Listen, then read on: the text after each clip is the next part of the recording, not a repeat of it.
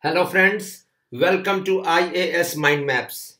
I am Dr. Anurag Singh and this session is going to focus over strategic personal assessment systems in which you are getting weekly targets or weekly timetable to achieve success in UPSC 2018 prelims and mains examination. This plan started on 25th of November and under this plan, we divided the next six months into six monthly timelines. This is the second monthly timeline going on and it has commenced from 1st of Jan 2018 and will finish off by 30th of January 2018. So this is the second month plan and each of these monthly timelines have been divided into weekly targets. So even this month, the second month, has been divided into four weeks and targets of the past two weeks have already been uploaded in various areas. And if you are following the plan religiously you should have finished those areas. This is the third week. And this week has commenced from 17th of jan 2018 will be going on till 23rd of jan 2018 and this video is going to give you weekly target in the field of Economic Survey 2017 Volume 2.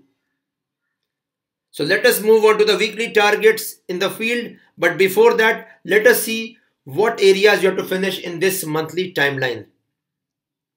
So if you are following the plan, by 30th of Jan, you should be able to finish one major area of polity, which is important both for prelims and mains, besides two minor areas of Economic Survey 2017 Volume 2 and Environment Applied and Current portion. Both of these are important for prelims 2018 and current affairs of the month of December 2017 and January 2018. So these are the areas you should finish off by 30th Jan 2018. Let us move to this week targets in the field of economic survey. So this is the second plan of this week. The first plan, the video has already been uploaded giving you the targets in the field of Indian polity.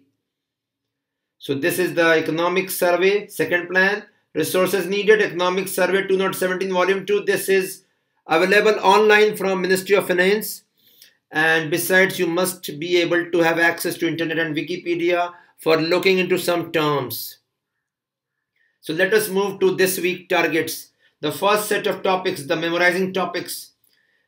Memorizing topics means you have to go for in-depth reading of these topics. So there are three chapters of economic survey for this week. Chapter 2, Chapter 3 and Chapter 4. One is fiscal developments. One is monetary management and financial intermediation. And the third one is prices and inflation. So basically in this week we are focusing over the fiscal and the monetary policy of the government as well as the Reserve Bank of India and the Monetary Policy Committee. So go through this chapter once and underline the crucial points in these chapters and these are the broad timelines. This is the evaluation column.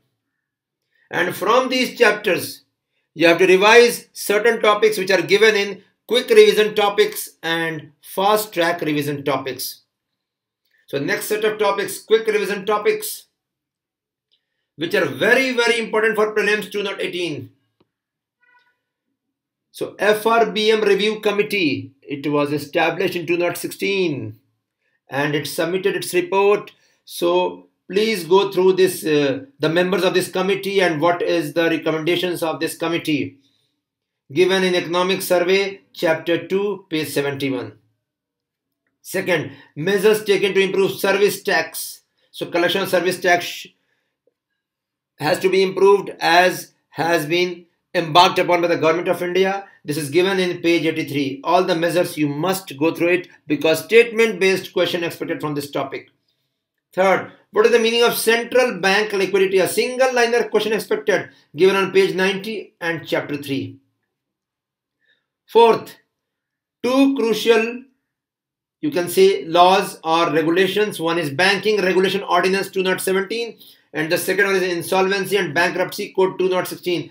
Please be prepared to uh, have statement based questions from both these topics in prelims 2018 and the questions will be in depth checking your knowledge and perspective over these topics so please prepare micro notes over these topics this is given in chapter 3 of economic survey next recently the oil prices the crude oil prices have shot up again and it has gone till around uh, $70 per barrel so what is the role of OPEC, Organization of Petroleum Exporting Countries? What has been the impact of discovery of shale gas?